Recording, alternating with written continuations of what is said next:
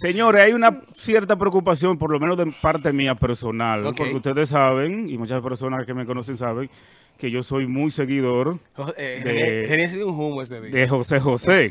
¿cuándo te diste un humo ya la muerte de José José? Uno prueba algo, una, qué sé yo, porque esa No, noche René, ese sábado... usted es- eh, yo, le yo con sus más. canciones desde 2004 No, hay específicamente, muchas soy muy, de José José. muy seguidor del, del Pues- mismo. pues, pero se sabe una cuanta usted. Bueno, de cantarla ninguna, pero de sabérmela casi un por ciento muy elevado, porque no me atrevo a cantar, porque no quiero dañar, no, no quiero dañar así, el oído a nadie. fue, yo le pregunté, Ok. está bien.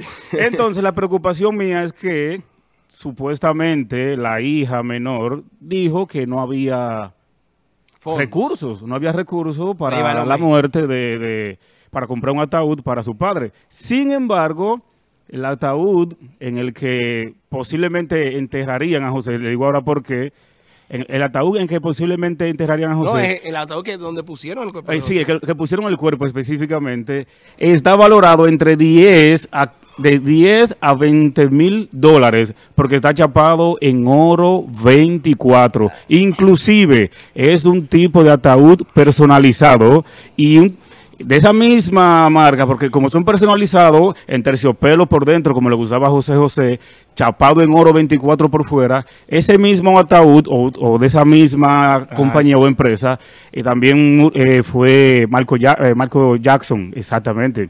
Es decir, que hay otras personalidades del mundo del arte, celebridades muy famosas, que lo han enterrado, que han sido, lo han utilizado ese tipo de ataúd, pero hay una noticia que se dice que en caso de que a José José lo cremen, entonces, El ¿qué van a hacer con el ataúd? o sea, el ataúd- no lo pueden devolver. No, no pueden Que lo devolverlo ya. ustedes ese ataúd. Pero lo, El- lo más, el- lo más fuerte del caso, oye, ¿cuál, qué- cuál es lo más fuerte del caso? Supuestamente, supuestamente ese ataúd, como es personalizado, lo mandan a hacer mínimo, mínimo.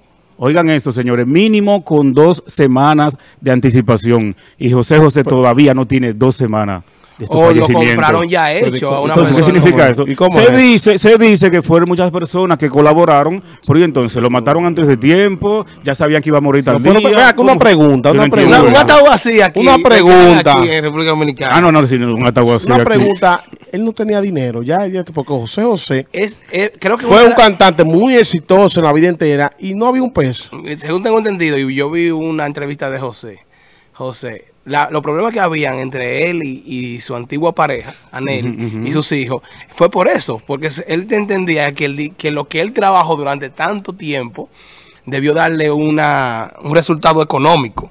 Entonces, ese resultado económico no se tradujo para lo que él, como él trabajó, tú sabes, no se tradujo. Cuando él se dio cuenta, le preguntó a la esposa, mira, tanto tiempo cantando, ¿cuánto tenemos en el banco? Y en el banco no había ni uno. No, eh, exa- ¿Cómo exacto. Es que- que Eso como- dijo no, José no, José. no, no. En su libro lo No, dice. Te ¿cómo- explico. no es que él diga, ¿cuántas canciones usted que es un conocedor, Renier, De la- de-. José José, cómo usted no va a tener para su velorio? Es una persona tan famosa en el mundo entero. Muy bien, oye lo siguiente. Un Yo también- pues eso me luce a mí. Yo vi una entrevista en la que él decía que luego de, un- de, una, inmen- de una enorme gira que tuvo, una gira grande, bien grande, él se, se sienta con el manager y le dice, vamos, sentémonos ahora a contar todos los beneficios. Y, El y- manager y- es, ma- se- se- que tengan claro, hermano de Anel, la que era esposa Eh, de él. ah, ok. Yo específicamente no sé cuál era el manager, pero el, el manager le, dije, le dijo, ¿cuál ¿de qué beneficio me está hablando? Si al fin y al cabo tú te tomaste y te... ah, No, no, no, hablando tengo que él ¿eh? supuestamente, se, por su nariz, supuestamente, que por su nariz, se había, se, se había Pero, oiga, yo lo que creo que a José José Además, él estaba en la calle y fue la, la, la, la, La, la- la- la otra esposa. que la lo- otra esposa que lo rescató. José José estaba Por eso que... eh, plenamente en la a- calle. A ella la telenovela lo salvó, el libro lo salvó, a tener un chin de economía. Sí, eh, hay gente que están acabando mucho de la esposa de él porque la esposa de él quiere que se creme el cuerpo y que se quede en Miami. Pero esa esposa Entonces, ¿qué van a hacer con el ataúd ¿sabe entonces? De, co- de 20 mil Ahí dólares. no se sabe. Si aquí si cementerio ahora- nuevo para hacerte una historia. Que la tienen aquí, tú veas. Ay, Dios Entonces, esa esposa de él, la que es actual esposa de él, Eh, fue, es la que hizo que José José no se volviera al alcohol. Sea, que Ya lo rescató. rentó, Literalmente la en la calle. es, el y, la, y la alcohol- han acabado a ella, el- pero el- mira, ella fue la que le salvó a Lo José José. salvó. El alcohol y la melliza fue que hicieron que no tuviera... ¿Cuál melliza? Eso es lo que ¿Eh? en la entrevista La dijeron. eso. melliza ¿Cuál son melliza? las narices. Ah, la- melliza. Cuando se habla Eso de lo- en eso- ese tema, eso fue lo que le dijeron a Atención, él. flaco, cuando se habla en ese tema, son las mellizas. La melliza. No Bueno, podemos contar dinero porque tú te lo gastaste Bueno. todo. Vamos a felicitar a, la noticia que tocaba Yaniris, eh, a José María Cabral, que está entre los 93 nominados para Sí, películas sí. internacionales. O sea, Eso está bien. De lo nuestro, dominicano. una película dominicana. Ojalá esté en la categoría orgulloso. del Oscar Sí, sí, eh, como llegue. mejor película. eh, José Manuel, eh, José María Cabral, un tipo que últimamente se ha conocido más por ser crítico del gobierno. Sí, sí. Sí, se hace crítico del gobierno, pero es un, un director de cine muy reconocido y que tiene muchas películas muy buenas. Y entre eso está Carpintero. A mí me encantó Carpintero. Sí, o sí. sea, el Carpintero me encantó. bueno. Yo la vi, muy, muy buena película.